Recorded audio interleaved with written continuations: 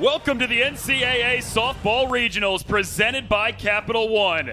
Championship Sunday in Fayetteville without the host.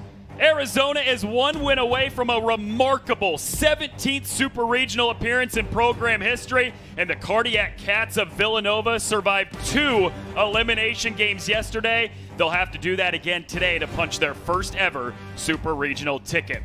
They knocked off the host Arkansas last night 7 to 2 to set up a rematch of Friday night's game 1 for the regional championship. Hello, everyone, and welcome to Bogle Park. Former Duke Blue Devil Rainn Wilson and Noah Reed with you. We've got Arizona, one of the best programs that college softball has ever seen. And we've got Villanova, who's never been to a regional final until today. I guess that's why we call it mayhem. This is an App State offense that averages about 80 a game, held to 23 in the first half. I don't know that 20 minutes in we thought the Marshall defense would be the story. Mid February in college basketball rocks because it's already starting to feel a little marchy in here.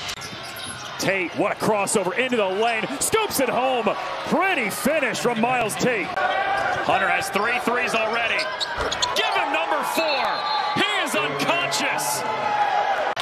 Tate, baseline, whips it up to Harcum, elevates for three, and buries it. Both Mellott and Chambers on the field. Mellott's now out as a wide receiver. Chambers in the shotgun. Trick play to Mellott. The quarterback throws it. Caught by Thomas to the pylon. Touchdown, Montana State. Taking those those reps. Quick pass. It's jumped and it's picked off. Keenan Garber Pick six. Second defensive touchdown today for the Cats. Two balls and a strike here from Penta, and Crenshaw smokes it. Deep left field. Mizzou takes the lead in the fifth. Seitz belts it into the gap in left center field. Villanova adds another as Smith scores. Gray gets the wave.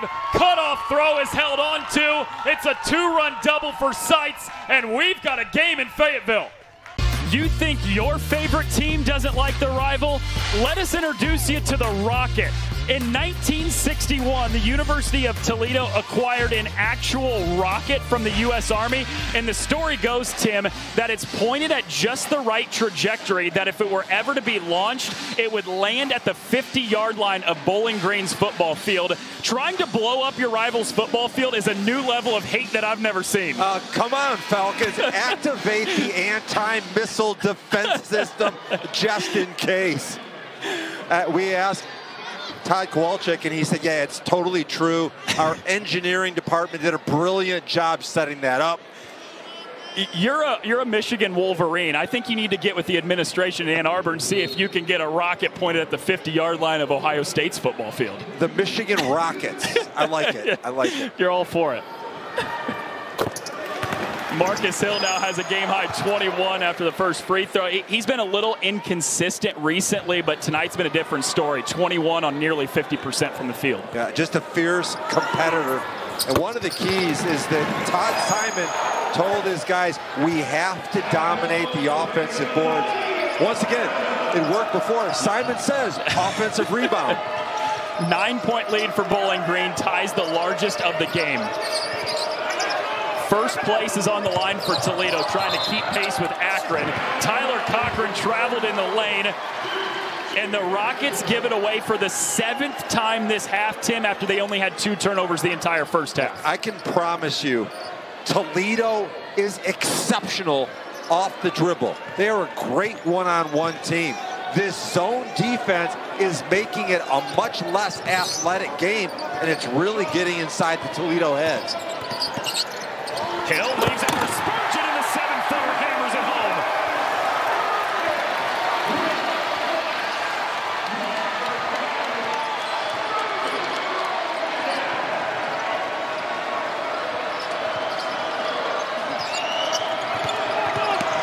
Simmons backing down Spurgeon, way off the mark. Wilson, the offensive rebound, he was blocked. Humphrey saves it in.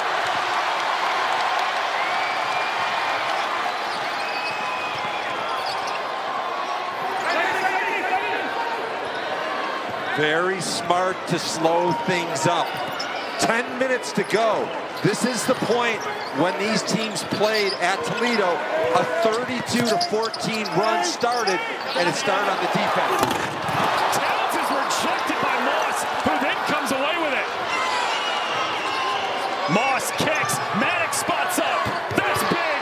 Best shooter for Toledo connects. Not only best shooter for Toledo, my vote, best shooter in the Mid-American Conference.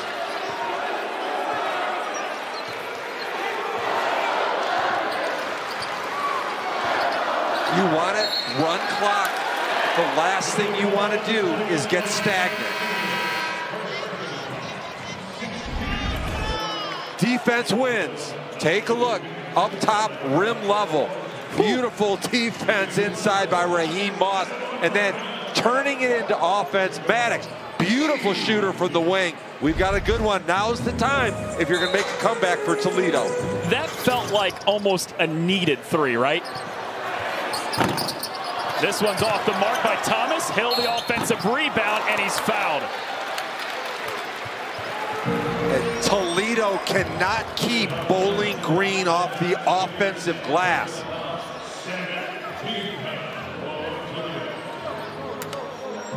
And, please don't be surprised by the fact that Bowling Green is such a good team tonight. They play an attack style defense. They're top five in the conference in scoring. And Marcus Hill is the go-to guy. Uh, you know what they're running offensively right now? It, it's called the it's called the Marcus Hill Show. That, that's a pretty good offense if you're Bowling Green. This is year one under what was supposed to be a rebuild for Todd Simon. The coaches in the MAC preseason pick to finish them tied for sixth. There were some outlets that had them all the way down at 11th. Todd Simon said that was the athletic, by the way. He brought his receipts. He knew where he was picked in the conference, especially by the ones that picked him at the bottom. They're in fifth right now, and they've got a chance to beat the number one team in the MAC. Thomas dispersion in transition, but it's a turnover.